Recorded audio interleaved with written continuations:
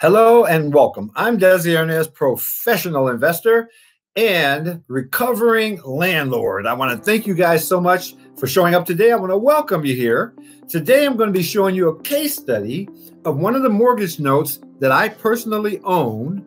And I'm going to show you how I have used mortgage notes to transition from being a landlord and property flipper to being a note investor and private lender.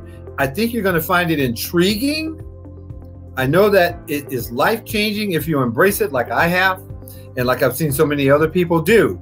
And I'm going to use a case study to actually show you how that happens.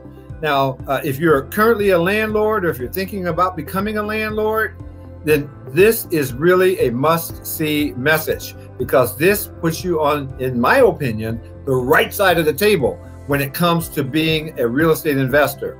So let's take a look at the case study. I call this case study the case of the deadbeat daughter. You'll see in a minute why I call it the case of the deadbeat daughter. It's got nothing to do with my personal daughter, but you'll understand as we move forward through this case study.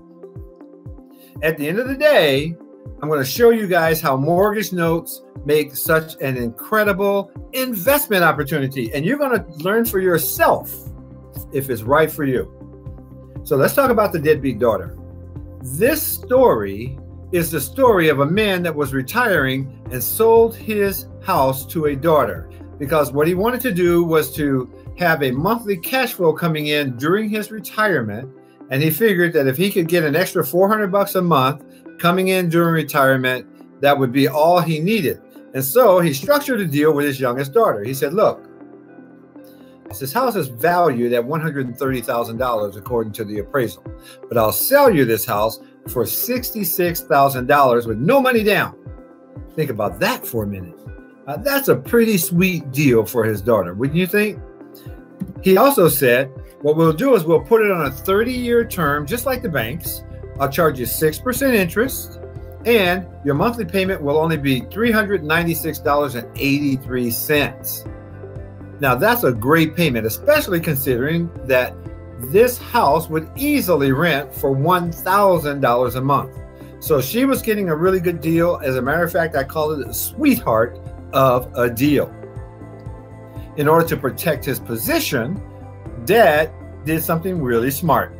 He put it in writing. He had his daughter sign a promissory note and a mortgage. Now, in case you don't know what those are, a promissory note is simply an IOU. Basically, it's a document that says, Dad, I owe you $66,000. I agree to pay you back over the next 30 years $396.83 at a rate of 6%. And the mortgage document basically says, Dad, if I don't stick to my promise, you can take the house.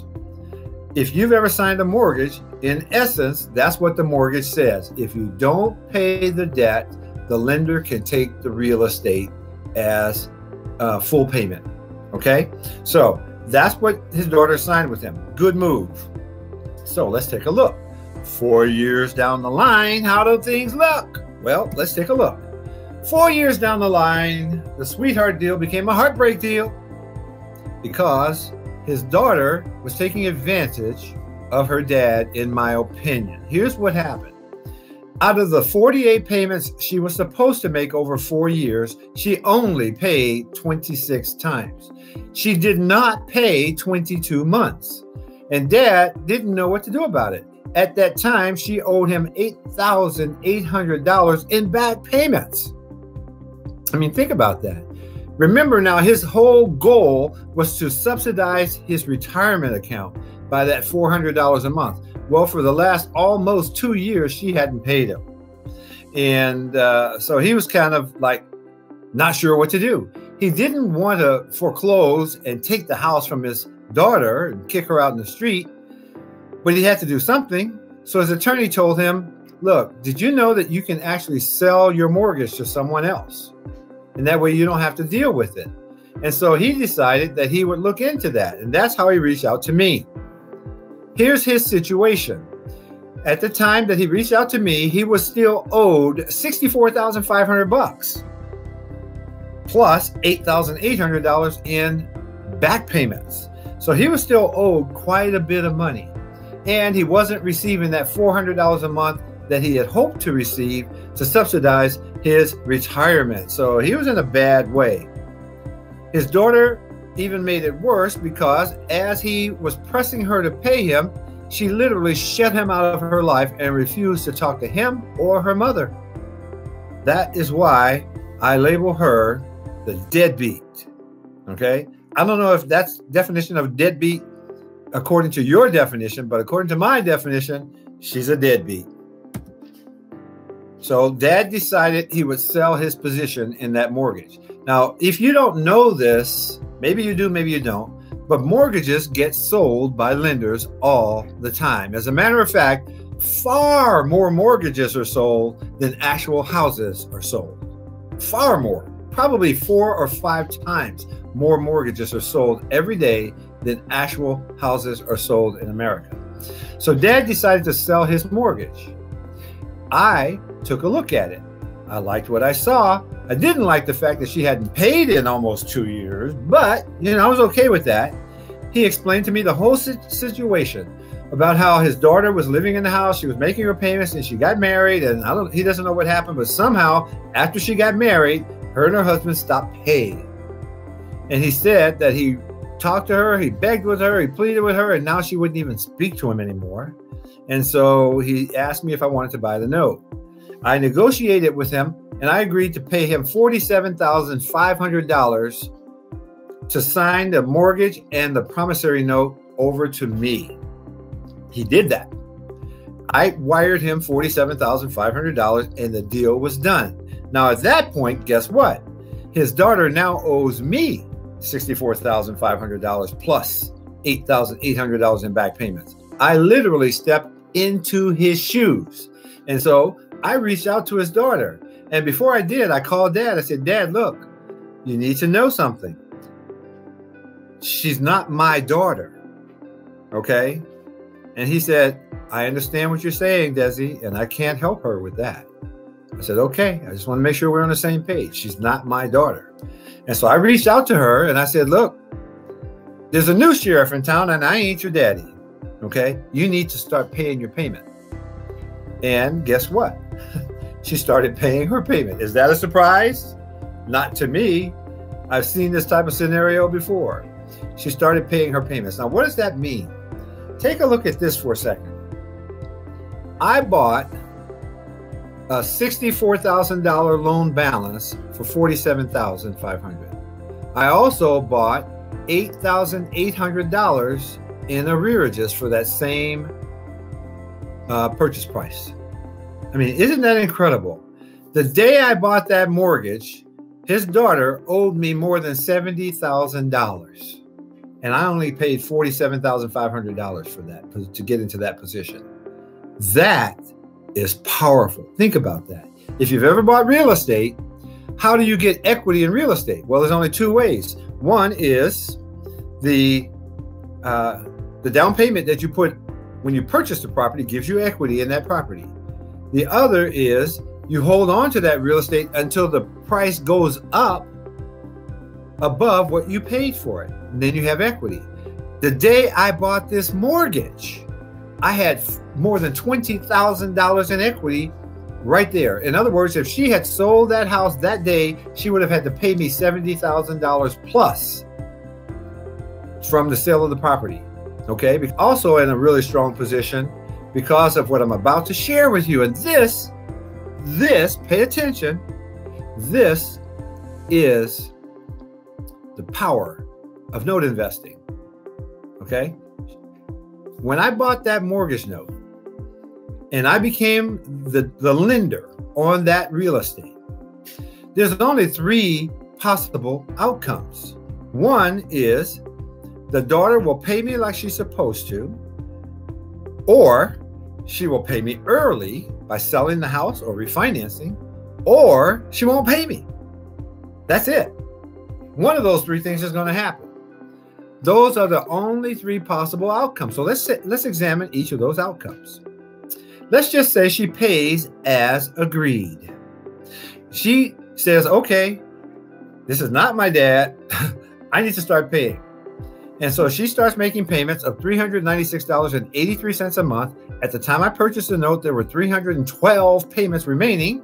So she will pay me a total of $123,811 in payments, plus an additional $8,800 in back payments. So all total, she will pay me $132,600.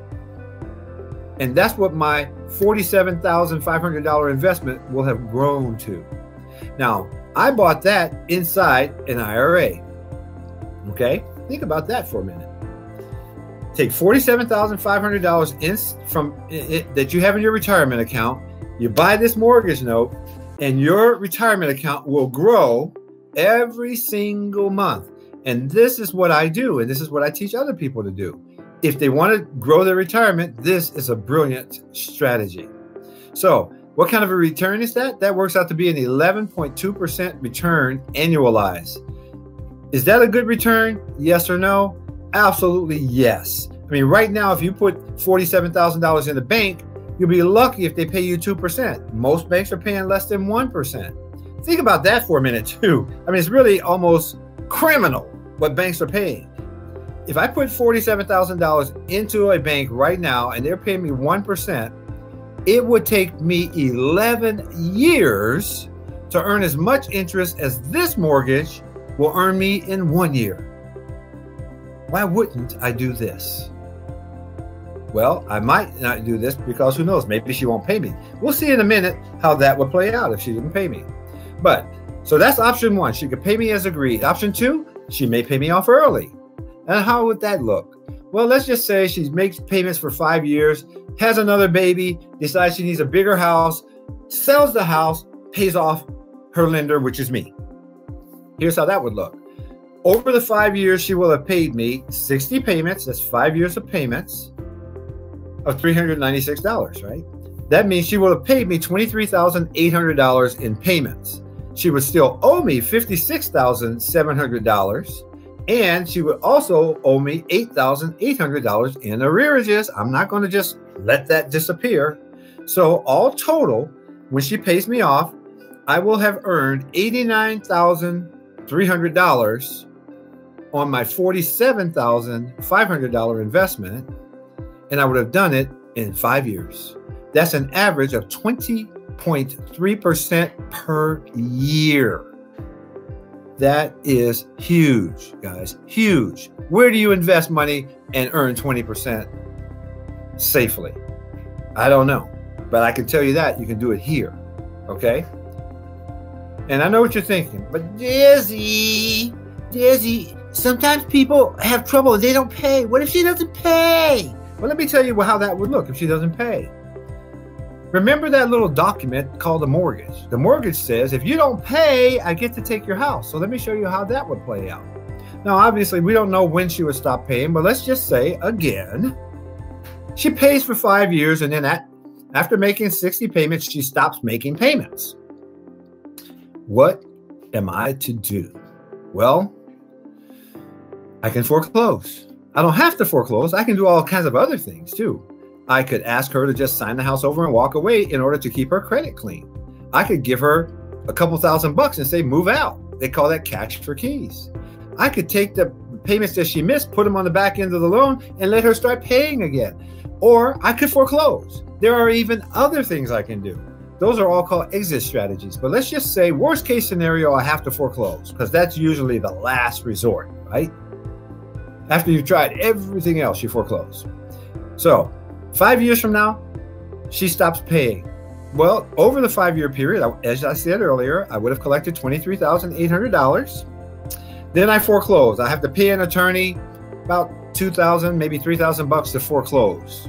So I write a check, $3,000. The attorney handles it, lets me know, hey, Desi, the house has been foreclosed. It's now your house. So now I own a house at that point. This house is in Georgia, just north of Atlanta. Okay. So now I own a house in Georgia. And at that point, I call up my real estate agent and I say, hey, agent, sell the house. The agent sells the house. Remember, the house is worth $130,000. So I, the agent sells the house. And let's just say I have to pay my agent. I subtract out my attorney's fees and all that. from the sale. So now I wind up with $115,000 in cash. Let's just say. I know it's more than that, but I'm just trying to be conservative. Out of the 130,000, I get 115,000 in cash. I've already collected 23,800 in payments. So all total, I would have collected $138,800 over, let's just say five and a half years or so. That works out to be a 28% annual return. It goes from good to better to fabulous. I mean, that is why banks do what they do. Let me show you the actual results of what's going on with that particular asset right now. As I said, when I called the daughter, I reached out to her and I said, I'm not your daddy. She started making payments. And I put her on a payment plan to start catching up the arrearages too. So now, what she's paying me now is $396.83 per month for the mortgage. She's also paying an additional $310 per month to catch up those back payments. So I'm collecting $706 each month on a $47,000 investment, 47.5, which works out to be almost 18% cash on cash return coming to my mailbox every single month. Dude, it just doesn't get any better than this. This is one of my notes. I have almost 50 of these. And every single month, I buy another one or two. You can too. You just have to know how to do this. This is such a fabulous way to do things, to do business. Now you understand why banks don't flip houses, right? Now you understand why banks don't buy rental houses or stocks or mutual funds or Bitcoin or none of that stuff. Banks don't invest. The reason banks don't invest is because investing is risky and banks are risk averse. Banks lend. You see, because as a lender, you're in control. You get to control the cash flow. Now, what do I mean by that? All businesses need cash flow to stay afloat, but most businesses can't control their cash flow. They don't know when their customers are going to show up. They don't know when their clients are going to pay. They hope they pay, they hope they show up. With banks, they control it. If you borrow money from a bank, they tell you when you must pay. Your payment is due on the 5th. Okay? They control the cash flow. Banks also minimize risk. They say to you, if you don't pay your payment on the 5th, first of all, we're going to hit you with a late charge. If you take too long to pay, we're not going to accept your payment. We're going to take your property. And that is how they minimize their risk. The third thing that banks do is they control their return on investment. I mean, if you put your money in a stock market, you can't control what kind of a return you're going to make. You hope you make a profit. You could lose money. Banks position themselves so that losing money is almost not a possibility. Think about this. If they want their dollars to earn 9%, what do they do? They just say, hey, if you want to borrow money from us, your interest rate is 9%. I mean, it's such a great business model. Why aren't we all copying what banks do? You see, I'm showing you here today that you can earn profits from real estate without owning it. You don't have to buy real estate to make money from real estate. Banks do it every single day. Banks make money from golf courses. They don't own golf courses. Banks make money from shopping centers. They don't own shopping centers. Why own the property? You can get the cash flow without owning the property. You just have to understand the business and how to do it. I call it a brilliant way to invest. My website is Invest Brilliantly. You can actually learn this stuff. I coach people on how to do this. Or if you want a partner, I'll partner with you on your first deal or two or, whatever. If you want to get involved in this, I'm an investor. I'm not a guru. That's what I do. I invest and I help other people to invest. I show people how to invest. And I show you how to invest in this asset class because, in my opinion, I think this is the best investment that's available for us. It certainly is the safest, and it certainly is one of the most profitable, and it certainly is one of the most passive. So, I mean, if you just want mailbox money coming in every month, you don't want to have to worry about toilets breaking or tenants leaving or insurance expiring or none of that stuff, then this is such a fabulous way to invest. So that's my story, guys. It's intriguing, isn't it? Well, I found out about this seven years ago. And when I did, I started getting rid of all my bricks and mortar. And today, I don't own any houses as rentals and I don't flip houses anymore. But I have cash flow coming in every single month. And since I buy another note every, at least one every single month, just not a, a, month where I don't earn more money that month than I did the month before. And I now show other people how to do exactly what I'm doing. If you're interested in that, you can schedule a consultation with me.